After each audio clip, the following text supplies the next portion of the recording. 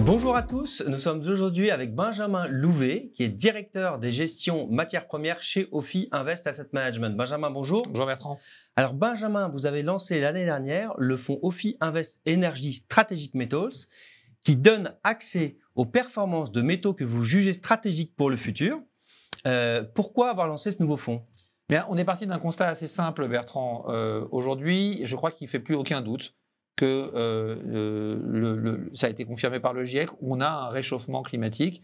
Ce réchauffement climatique est essentiellement d'origine humaine et principalement lié au fait qu'on utilise des énergies fossiles. Il va donc falloir se débarrasser des énergies fossiles et le cap qu'on s'est fixé, c'est d'arriver à zéro émission de CO2 en 2050. Donc il nous reste 30 ans. Pour ça, on a des solutions à notre disposition.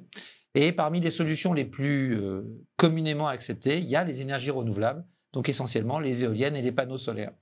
Simplement, le monde est en train de réaliser petit à petit que on ne fait pas d'électricité avec du vent ou avec du soleil, contrairement à ce qu'on avait pu nous laisser croire, mais avec un transformateur qui va convertir l'énergie du vent ou du soleil en électricité. Et ce transformateur, il faut le fabriquer. Et il est fait principalement de métaux.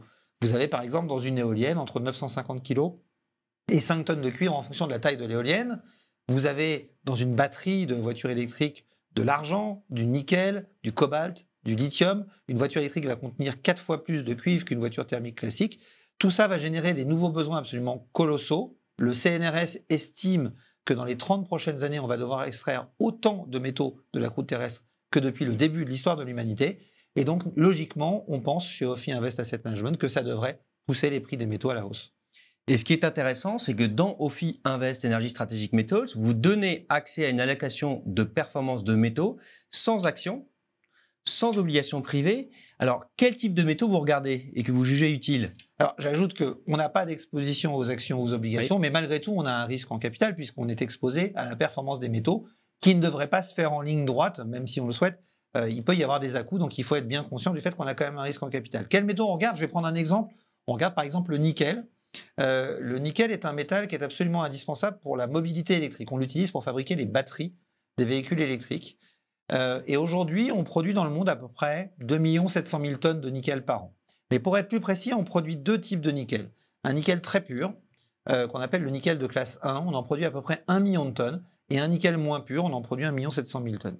Pour faire les batteries, il faut du nickel très pur. Donc on en produit 1 million de tonnes aujourd'hui, et selon la Commission européenne, rien que pour le secteur de la voiture électrique, à horizon 2040, il nous faudra 2 600 000 tonnes de ce nickel très pur, alors qu'aujourd'hui on n'en produit qu'un million de tonnes, sachant qu'en plus le nickel à côté de ça sert à fabriquer de l'acier inoxydable, dont on va avoir également besoin dans les années à venir.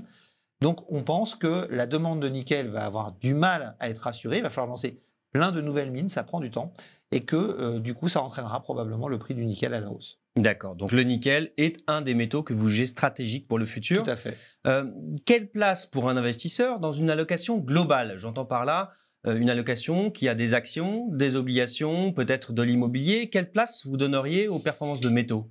Alors, on, l'a dit, hein, ce sont des actifs qui restent volatiles, donc il faut euh, y, allouer une part qui est en cohérence avec votre appréhension du risque. Hmm. Dit autrement, en fonction des investisseurs et de leur capacité à encaisser des mouvements sur leur portefeuille, des, hausses et des baisses sur leur portefeuille, eh bien, on va pouvoir y consacrer une part plus ou moins importante. J'ai envie de dire que si on reprend une classification euh, traditionnelle entre portefeuille euh, prudent, équilibré ou dynamique, un portefeuille euh, prudent pourra y consacrer entre 1 et 3% de son allocation, un portefeuille équilibré entre 3 et 6% et un portefeuille dynamique pourra y consacrer entre 6 et 10 voilà, pour être cohérent, parce que comme ces portefeuilles amènent de la volatilité, ces produits amènent de la volatilité, il faut y consacrer une partie raisonnable de son portefeuille en fonction de son aversion au risque. Merci beaucoup Benjamin, c'est très clair. Pour ceux qui sont intéressés par cette stratégie ou d'autres stratégies d'OFI Invest Asset Management, vous avez accès à toutes les informations sur notre site internet. Merci.